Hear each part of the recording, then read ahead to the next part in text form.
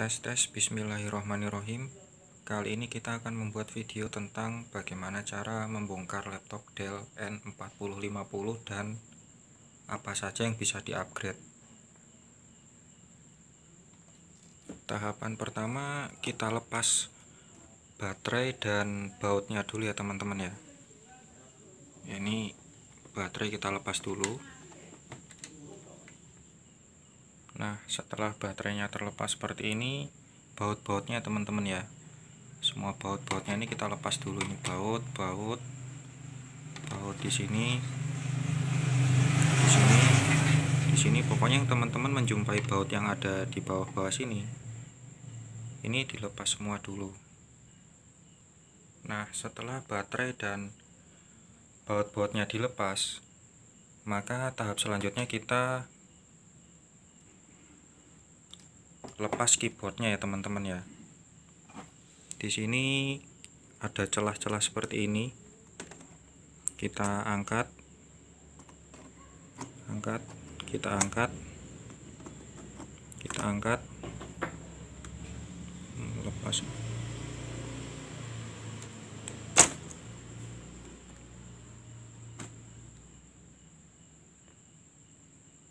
Jangan lupa ini kabelnya dilepas juga kabel keyboardnya. Nah di bagian ini ada kabel power ya teman-teman ya.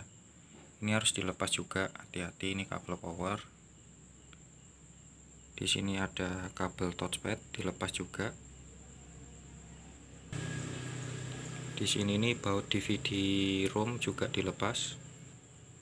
Pokoknya ketika teman-teman menjumpai baut-baut yang ada di atas ini ini dilepas semua ya teman-teman ya. Nah ketika baut DVD sudah dilepas ini lepas dulu teman-teman DVD-nya lepas dulu.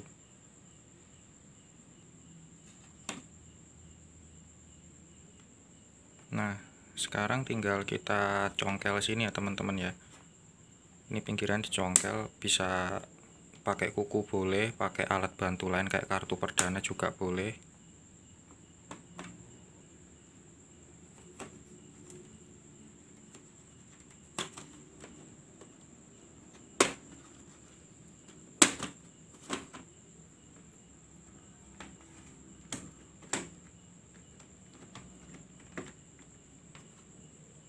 Nah, lalu kita angkat kap atasnya ini, teman-teman. Nah, ini agak nyangkut di sini nih bisa layarnya diturunin dulu.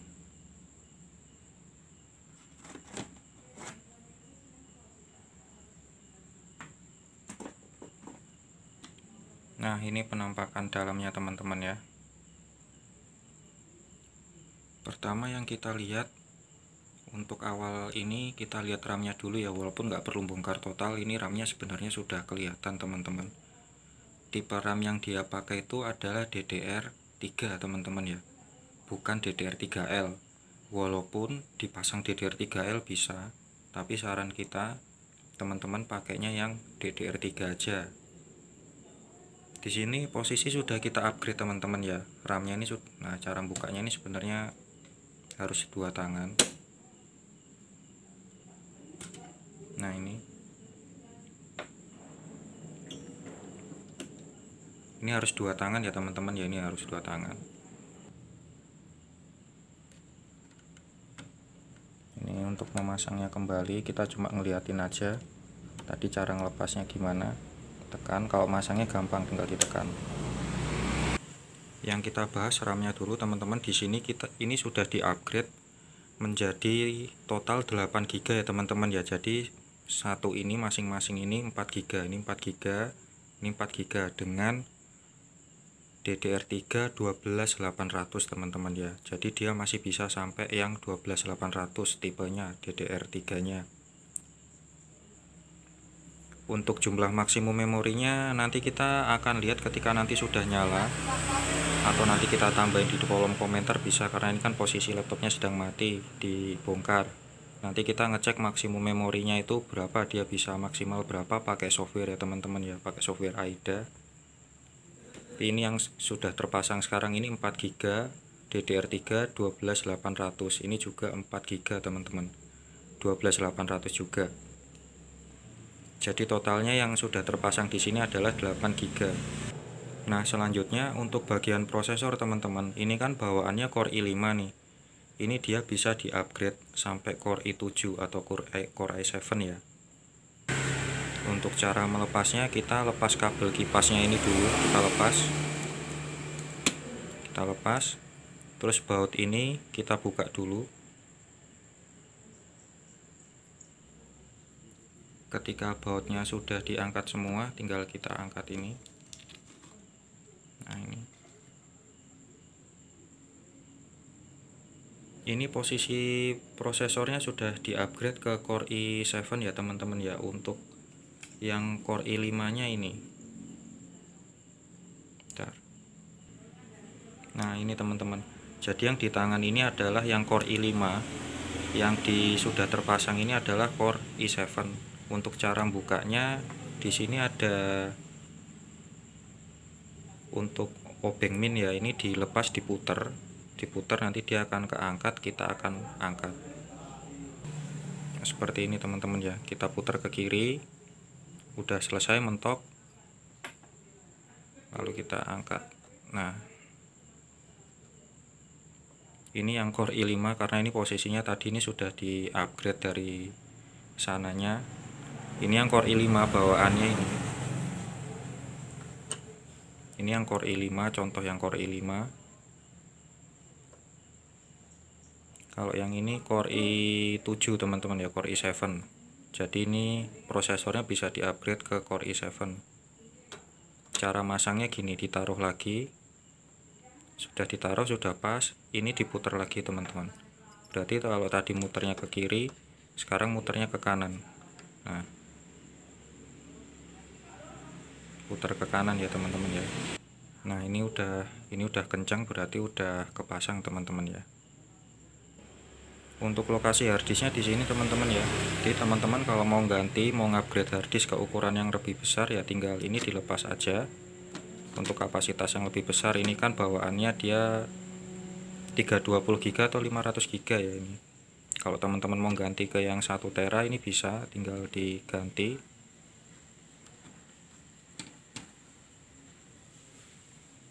Nah seperti ini bautnya ini dilepas dulu untuk megang harddisk dibiasakan teman-teman megang samping ya jangan megang hijau-hijaunya ini.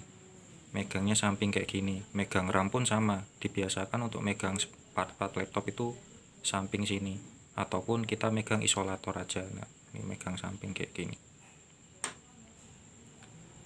Jadi RAM ini bisa di upgrade ke 12800 untuk yang di upgrade sekarang ini kita pakainya yang 4 GB 4 GB satu keping 4 GB satu keping dikalikan dua ini jadi totalnya 8 GB untuk maksimalnya berapa nanti coba kita lihat di software. Kalau nggak sempat nanti kita taruh di kolom komentar. Maksimumnya dia ini bisa berapa.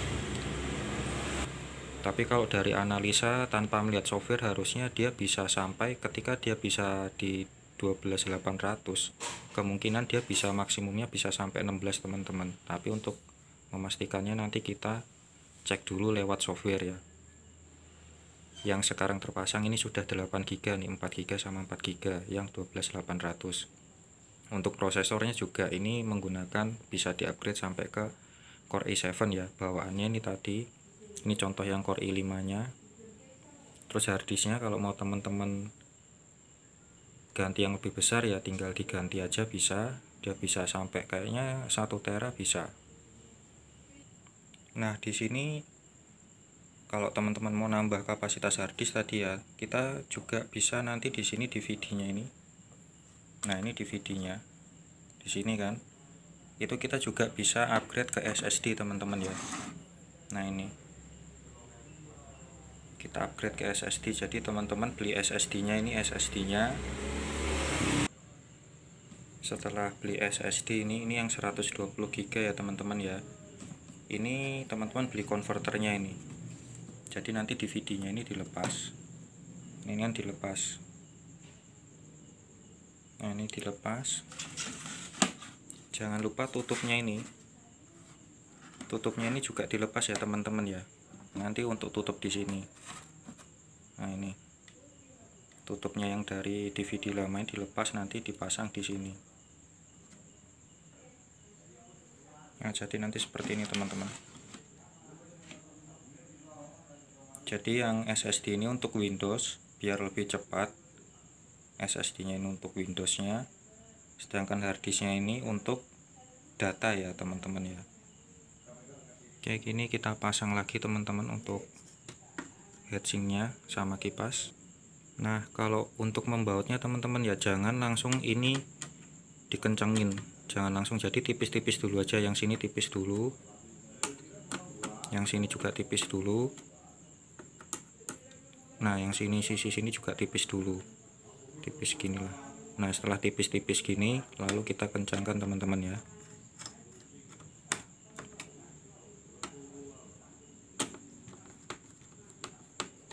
Supaya dia nggak jomplang teman-teman dan kekuatannya rata karena kalau yang ada lebih dari dua baut gitu kita harus kayak ini kan tiga ini tiga atau empat itu kita harus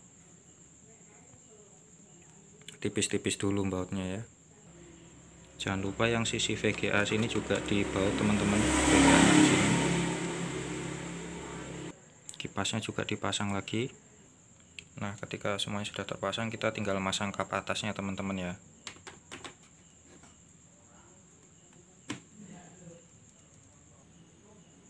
seperti ini. Kabelnya kita pasang lagi. Terus ini kabel touchpad kita pasang lagi. Nah jangan lupa dibaut-baut semua ya teman-teman ya yang sudah dilepas tadi. Ini dibaut dibaut. Lalu kita pasang keyboardnya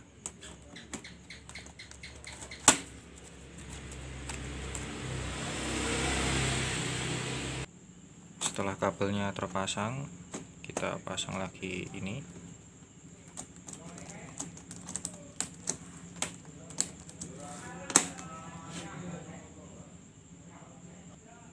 Ya oke teman-teman. Jadi tadi yang kita liatin RAM nya bisa di upgrade terus ini bisa diganti ke SSD dan juga ini RAM eh prosesornya bisa diganti ke Core i7 ya teman-teman ya Nah jangan lupa teman-teman yang bagian bawah tadi bagian bawah sini semua itu dibaut juga semua udah selesai. Demikian teman-teman videonya semoga bermanfaat